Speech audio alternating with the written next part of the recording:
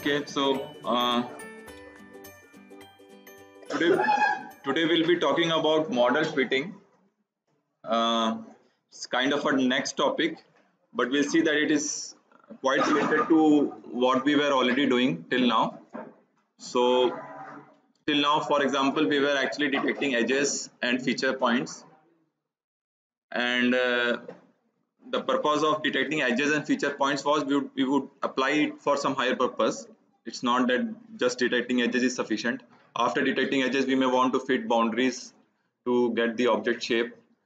Or after extracting features we would like to match them and find the alignment matrix and so on. So uh, to do all that there were some problems that we encountered. We discussed last time. For example when we are matching features there may be some out uh, some wrong matches and to deal with them is not so easy. We saw some local method to do that uh, some heuristic based method that the David Lowe in his SIFT paper used to solve that. But today we will be talking about a general technique of model fitting and we'll see that uh, that general technique actually can solve many of these problems of feature matching recognition and fitting boundaries on edges and so on so as we will uh, so for just to start with what we were doing earlier in the last class we were basically detecting features for for the purpose of aligning two images. And we saw in the first step we will basically extract features either using Harris corner or the SIFT uh, features. And then we would uh, match those features based on their descriptors now the problem was as we said that some of the features may get matched with the correct uh, corresponding feature point. But there may be some features for example here. For example this feature point let me change the color.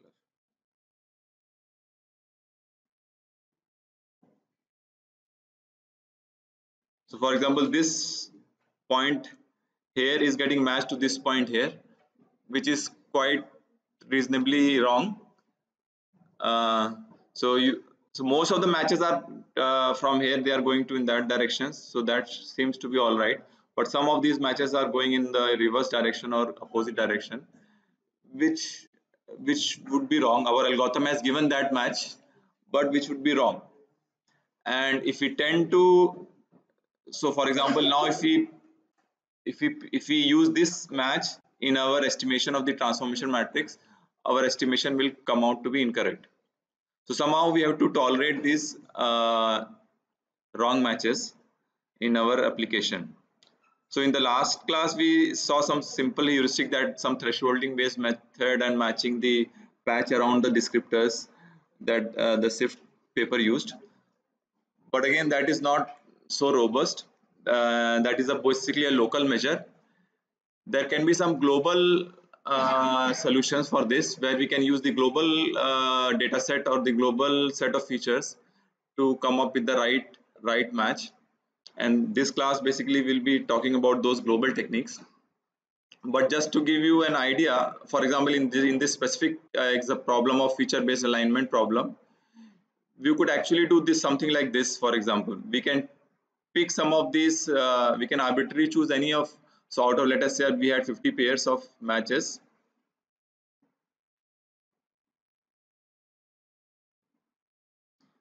Let us say we had total 50, uh, 50 pairs of uh, matches that we got.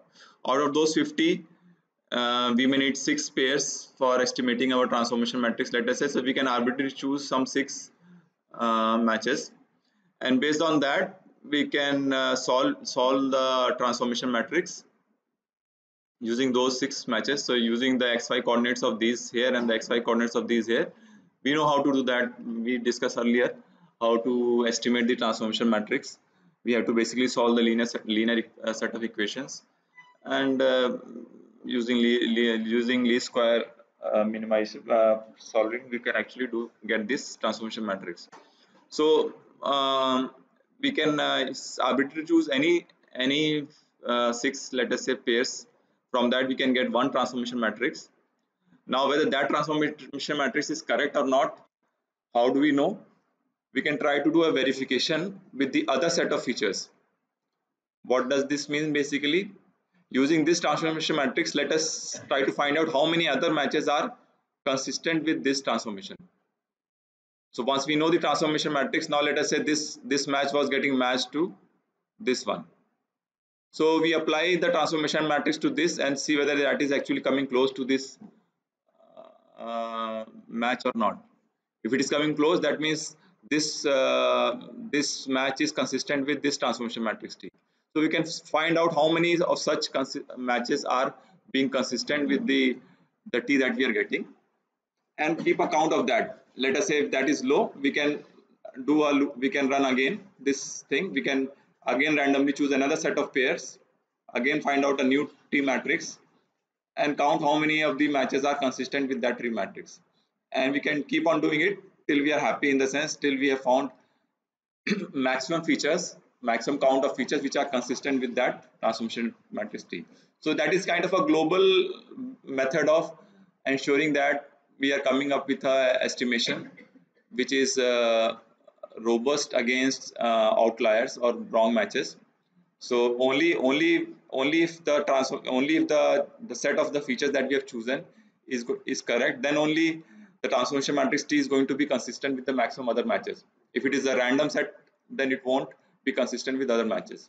So that is the basic idea how we can use uh, the global uh, data set or the global set of features to come up uh, to handle these problems that we encounter in real life. So this is after you find out the best match, you can do the transformation and do the aligning. But that is not what we are going to discuss. We are going to discuss a general technique which is based on some mathematics and some algorithm steps of fitting a parametric model so given a set of data points that data points can be your edge points or it can be your set of feature points that we detected using SIFT and all that we may want to fit a parametric model that we are assuming holds in the sense what is parametric model? It's basically it can be a simple uh, it can be a basically an equation which represents a class of uh, object shapes or set of instances. For example it can be simply straight lines or it can be a circle or it can be some arbitrary arbitrary shape uh, curve which can be parameterized uh, in some sense with some so in this case we, we need slope and intercept for the line. Here we need the center and the radius as a parameter. And maybe this arbitrary shape also can have some parameters. So if we can define a model which we hope which we assume that should hold in the given uh, image or in given set of data points we may try to fit this model on the extracted edge points or the extracted features and how we will fit that the process of fitting model will basically involve some kind of an optimization method where we'll try to estimate the parameters of that uh, model such that the fitting error is minimized. So we'll compute some kind of a fitting error and we'll try to minimize so the model which gives the least fitting error that we'll choose as our best uh, model which will represent the observed set of data points. So let us see some examples to make it more uh, clear what we are trying to do. Take some examples. So for example, we may want to do simple line fitting. So this example we showed you in the introduction class. In fact, this was the problem that we gave as a mini project last time when I ran this course. So we basically, I, uh, the problem was to basically extract uh, data from a tabular uh, image, image which has a, a, table kind of a pattern. So for example, this our answer sheet has this kind of a pattern. So we may want to extract the marks for some purpose. I'll talk about that later on. But the idea here is we we will uh, will do some edge detection but edge detection is not sufficient we'll have to find out these uh, lines of our table so we'll have we'll see how we can do that or you may want to fit lines on um, to find out the boundary of a building like here. Or we may want to fit line on the roads or the side maps so for either for navigation purpose or whatever. Or uh, we may want to fit line on this IC chip so just to know whether the chip has been placed correctly at the right location or not. So there are different applications where we may want to do simple line fitting uh, the problem of line fitting is so we may think that we have we already if we if we run an edge detector then it should give us line. If you simply run an edge detector like a Sobel uh, not Sobel Canny or whatever it will give uh, the edge points and will is that not sufficient? Can't we get a line from that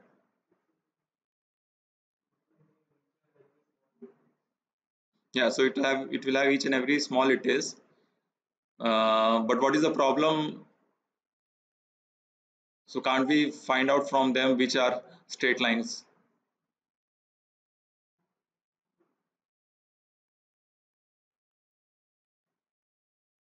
So what is the problem being highlighted here?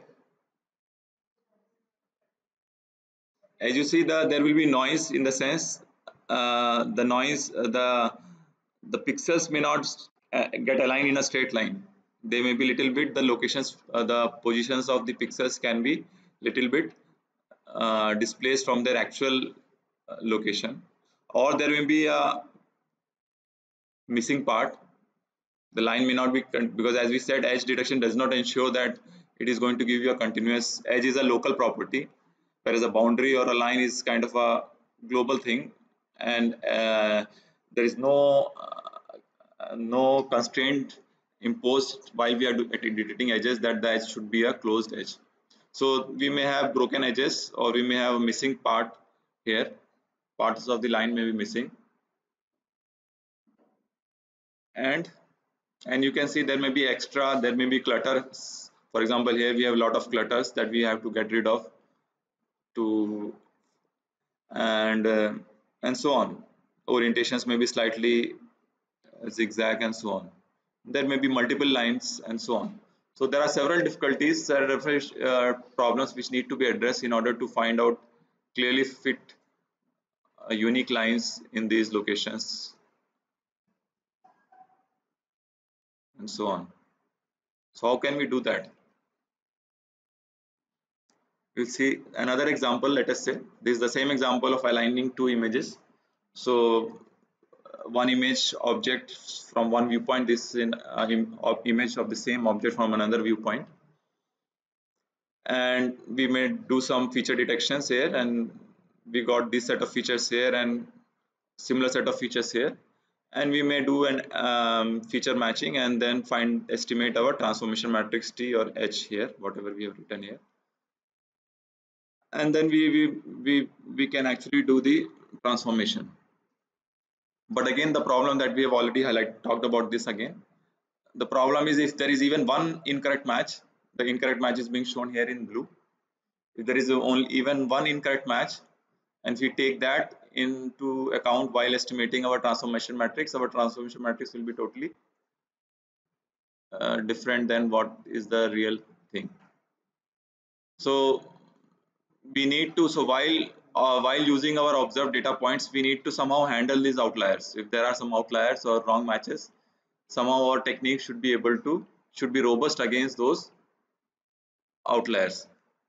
So in the previous case we said we should be it should be robust against some noise or some missing points and so on. In this case this is another exa example of uh, handling wrong matches which we are terming as outliers and this is the last example that I'm going to talk. A more general uh, application. We may want to fit a general 3d object template.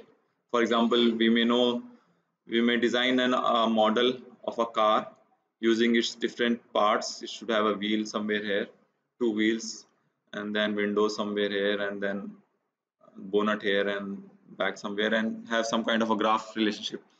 Some arbitrary template and when then we given a new given an observed uh, image of a car and feature patches detector from there we may try to match these things and find out whether this is actually a car or not. So this is a kind of a recognition or a matching problem. Again this is something similar to a data fitting problem that we are talking about. Uh, the problem here as we can see we'll see that if the viewpoints is quite different then some some of the patches may not at all be visible or they may be occluded by some other object in the scene. So while while fitting our data we have to also handle this problem of occlusions. When some part of the data is occluded still we should be able to solve these problems in a more robust fashion so what i'm saying is that this uh, uh, we'll see that in our discussion that the problem of fitting feature matching and recognition they are somewhat some in some way interconnected problems. If you solve one problem other problems can be solved in a similar way. So these are kind of as we have seen based on our discussion till now we have seen that these are kind of an interconnected problems. So our focus now will be on finding how to fit a parametric model given a set of data points. That is a general problem for which we will like to see what are the techniques for doing this. So we'll be choosing a parametric model which we will assume that uh, that is there in the image. And it can be a line circle parabola ellipse or even any general template parameterized template. The challenge is that the data that we'll see that the features or the edge points that we'll see will suffer with all these problems. In real life scenario there will be occlusions there will be noise there will be ambiguity or wrong matches and so on. So our technique should somehow be able to handle these outliers. We'll we'll call all of them as an outlier. So the goal of a robust uh, fitting method should be that we should be able to handle this tolerate these outliers so that is our aim. And something to note is that uh, while fitting this thing we have to see that the membership criteria will not be local. So this fitting method should be a global method because and this actually uh, will work to our to our advantage because even if some part of the data is occluded or is missing because we will be looking in a, in a global sense our method will not fail even if some part of the data is occluded or is missing because the membership criteria is not local. So we'll have to we cannot just looking at a uh, uh, looking at a one edge point or one set of features we cannot decide about the parameter uh, about the model that is going to fit. We have to see, see in a global sense. And the last thing that we have to keep into mind is the computational complexity. While fitting while using our technique whatever technique that we are going to take we have to see what is the computational complexity involved both in terms of memory as well as space. Because one brute, brute force approach can be very simple. You can examine all we can take all subsets of uh, feature points and uh, do an exhaustive search. What this means maybe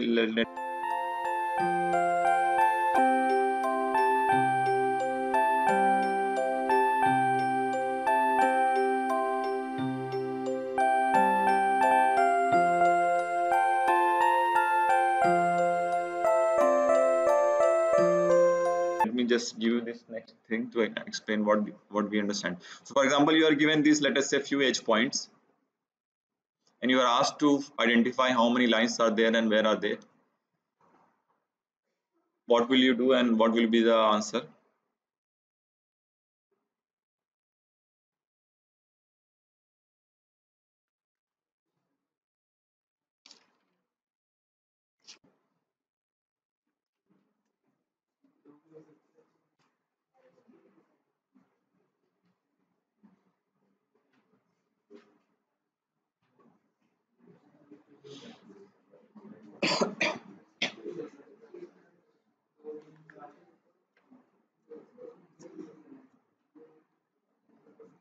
So what is the answer? Hmm? Two, three, four, even one. So there are many possible answers. And the thing is actually there are different possibilities. So you may draw, for example, there may be one part of the line here.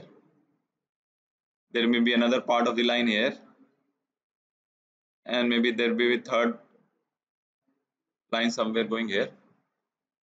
Or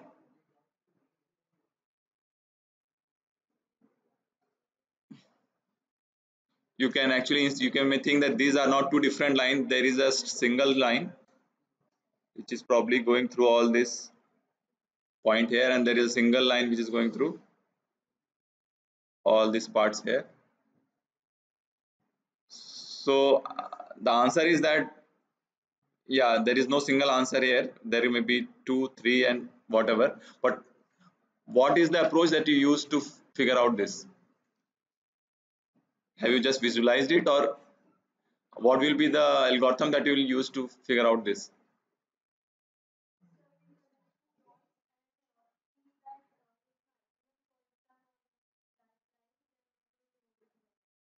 So we choose any two points so if there are n if there are n such data points how many possible combinations will be there?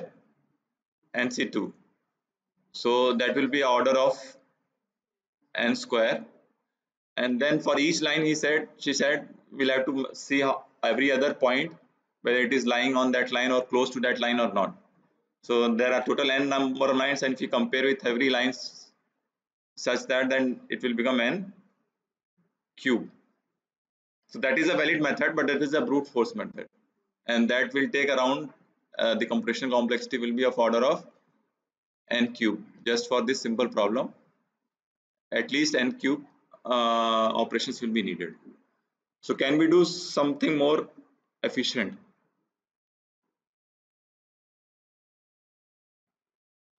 So that is our uh, going to be our discussion. So first we will see some simple mathematical uh, methods of uh, doing a global optimization using the least square fit method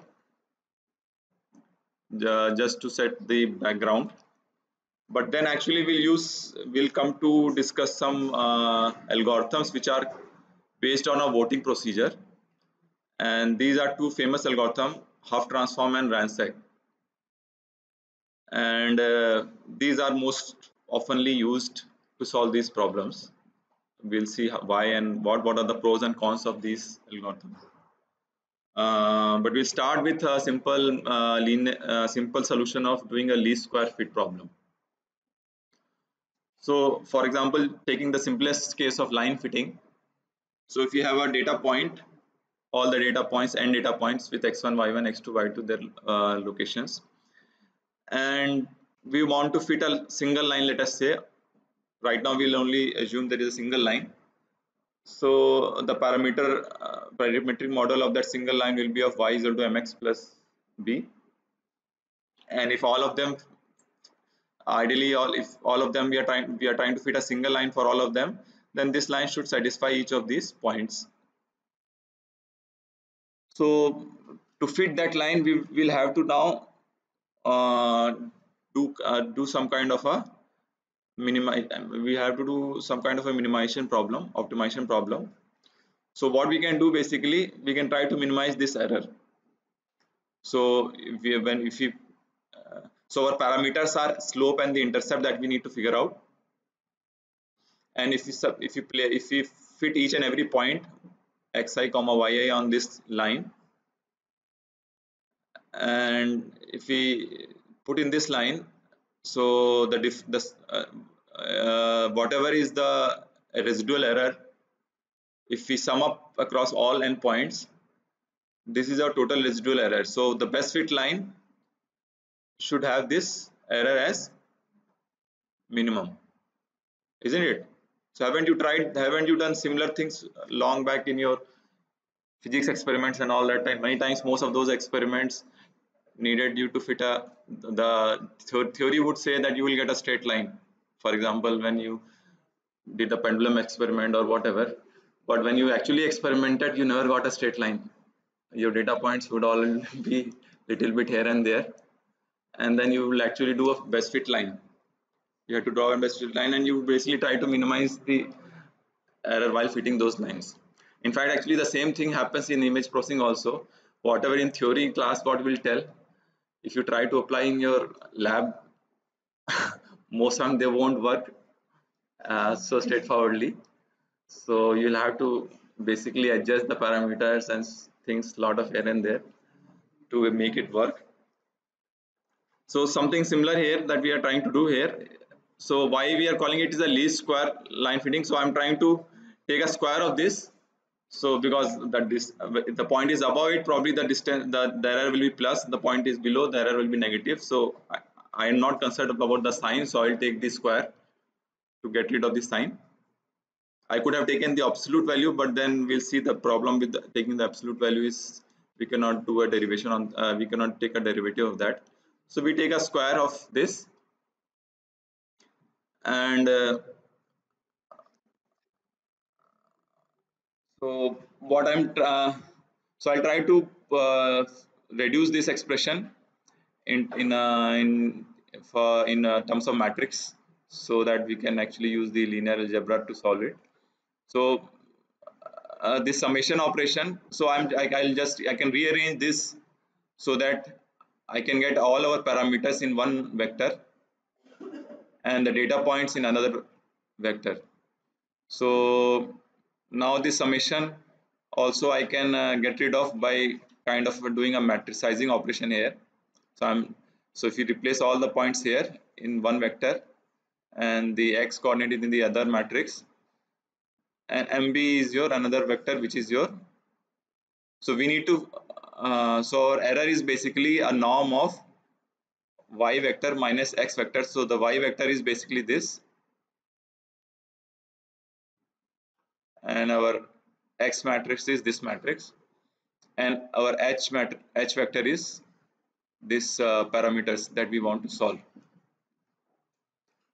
So uh, we can expand it. So this norm can be expanded. Using our linear algebra we can get this expression. Now to uh, the one which will minimize this error how to find out how to solve for h which, which will minimize this error. Hmm? we differentiate this e with respect to h and equate it to 0 so we'll differentiate this equation or this error d with respect to dh so what we get is something this. You can verify it. And we'll equate it to 0 so what will it will give? This will give basically this. And then finally our h parameters will be will take an inverse. So this is a is x transpose x. X itself is not a square matrix but x transpose x will be a square matrix. So it can be inversed. So we can take this inverse. And this is an this kind of a pseudo inverse. This is, is something similar that we did while while we were trying to solve this transformation matrix. So something same here so it's a, it's a standard least square fitting thing. So it will if you solve this you will get the the parameters m and b which which best fits the given set of data points. So you don't have to do nc2 combinations here. So it is good in terms of computational complexity. You can straight away uh, generate these mat uh, these matrices of x and y and solve this uh, pseudo inverse thing and you will get the solution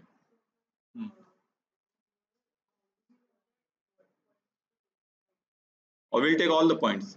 So yeah so the this problem the disadvantage with this method is it can only fit one model one instance of the model. So one line only it can fit. So it cannot fit all the points. So that that is the that is the problem with this. Or you may have to do it iteratively if you want to fit multiple models. So that's why it's not the best method. It's just the beginning. We'll see some better better method as we move forward. Uh, even this uh, uh, this uh, least square fitting is, is has some problem here. It will have a problem with vertical lines. It will fail for vertical lines because for vertical lines our slope m is going to tend to infinity. And that will be a problem here. And another problem will be here. So when your line is for example almost vertical if our point is even little bit here. So here in this case here we were actually in a kind of we were minimizing the y-intercept. We were actually minimizing the the uh, the distance that point is away from the line in the y direction. The now the problem with now the problem is if the line is almost vertical or close to vertical then if a if a point is even little bit away its y intercept will become very large and that will be so if you are trying to minimize the y-intercept uh, you will end up with a wrong uh, fitting. So ideally what you should do you should try to minimize the perpendicular distance from the line instead of minimizing the y-intercept. So we can so we can for that we can modify our line equation. So we can use this set of uh, this equation for our line instead of the slope intercept form we can use uh, this uh, this is another way to represent a straight line where d is the perpendicular distance of the origin from the uh, from the line. Uh, and a and b are other parameters. So we now will have three parameters instead of two parameters. But we can actually again do the similar uh, least square fitting here. But this will actually try to minimize the perpendicular distance so even if your line is vertical and all that it doesn't matter. You will be able to solve this thing. How this method fits so there are disadvantages for this method. One method one disadvantage was that it cannot fit multiple models. Uh, how it will perform for noise? So if your point are little bit if the if the points if there is only little bit noise in the sense your your pixels or your features are displaced with certain normal distribution or a Gaussian distribution.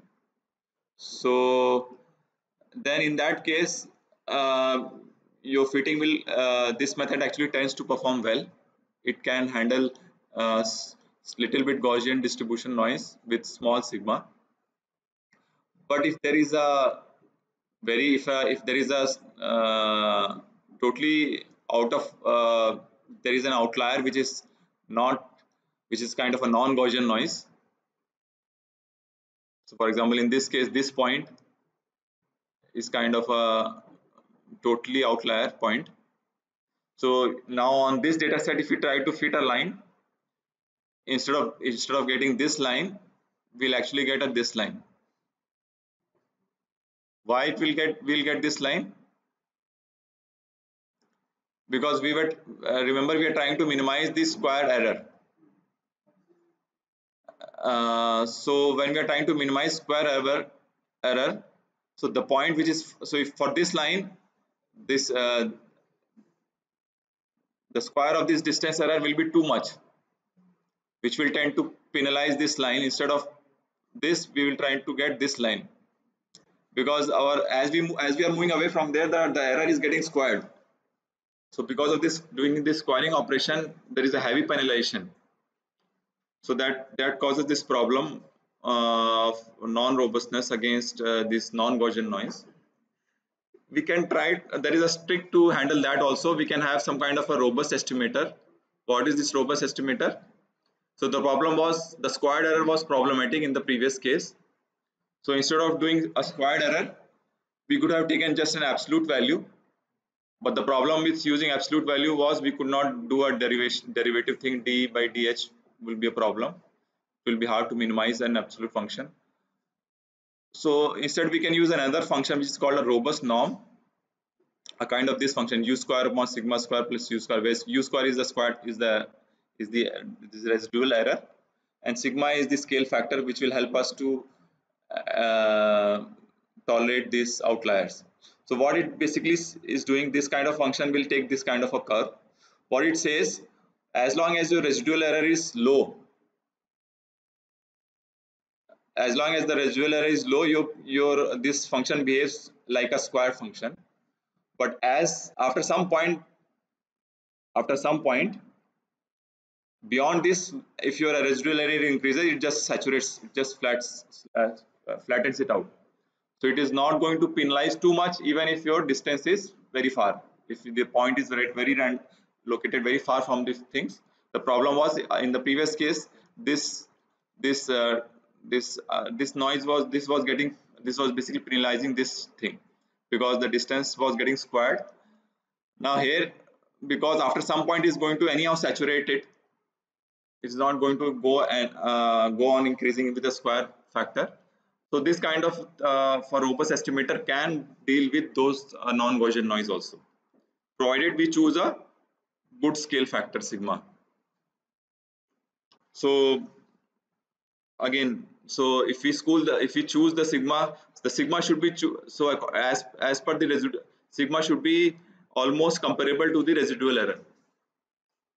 If it is 2 less than this then it becomes uh, basically this gets uh, numerator is also u square denominator is also nu square it basically this there will be no effect of doing an estimation here if sigma is too dominant than u square then it will behave again like a uh, squared function. So the effect uh, of this i'm just going to show here. So if you choose if you choose the scale right that is if you choose the sigma value correct then it is able to tolerate this outlier. It will neglect this and it will still fit the best fit line on the the effect of the outlier is minimized. But if we choose the sigma very low then basically uh, uh, uh, the fit will be very poor. Because the error value will almost be the same for every every point. Whether it is this point this point or any random point your error value will be almost the same for each and every point. So your fit will be any random fit it won't actually do the right thing. And as we said if we choose sigma too large our fitting will be the same as the least square fitting it will tend up to go nearer to the outlier. So these are some simple methods mathematical methods to do of line fitting. You can do probably it can be extended for square fitting and other uh, for circle fitting and other general curves also but there are many limitations with this problem. It is not so robust to noise and outliers and does not fit multiple models. So do we have some better methods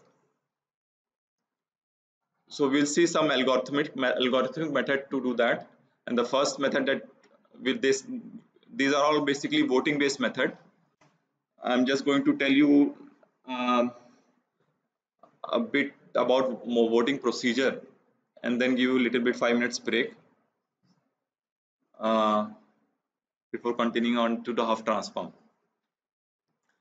So what is basically voting uh, procedure? Um, as we said in the brute force approach, we'll we may have to check all possible combinations, all possible subsets of feature points against each uh, parametric model and try to do a fitting but that is not computationally feasible. So in a voting basically basically what we do in fact this is this kind of a general technique in computer vision which is employed very often is basically uh, in this case for example what we'll do for each data point or each feature point we'll uh, we'll see uh, we'll try to each feature point or each edge point will cast a vote against a particular model. How it will be done that will explain in that detail will become clear. But the procedure will be will each point will cast a vote for one particular model. And we'll keep on doing this for all, all every feature points and keep on counting the votes so it's just like electing electing the leader. So basically everyone will uh, put cast its vote and the one which gets the maximum vote or or the maximum number uh, or all the largest vote we'll choose that as the best fit. So we'll cycle through each feature we'll cast uh, each feature will cast vote for the model parameters and then we look for that model parameter which received the maximum votes so that is the general voting procedure which is done in anything. Same thing is here also. And why it will work in this case how how the, the exact mechanism will differ whether we are doing RANSAC or whether we are doing Hough transform. Um, but before we just go into the details uh, why voting procedure will work why it will be able to tol it will be robust against outliers. So uh, which are which are our good features or which are basically the right edge points or the feature points they are going to consistently vote for the particular model which is actually existing there. Whereas those are those which are outliers they will cast vote for some some random parameters. So when we are going to count the max value max value will come for the those uh, models which are actually existing or the best the lines which are actually existing not the ones which are random things and also if some features are not observed this will still work. For example if there are there is an occlusion some features some some people became ill and they did not come they did not turn up for voting. Um, so of course here it will matter in this case probably uh, but in, in this case we'll see. Because our uh, the, the model that we are trying to fit uh, is, is a kind of a global model so even if some part of some local regions of that model is missing still we'll be able to get enough counts from the remaining part. We'll be able to get the enough number of counts from the remaining part even if some part is occluded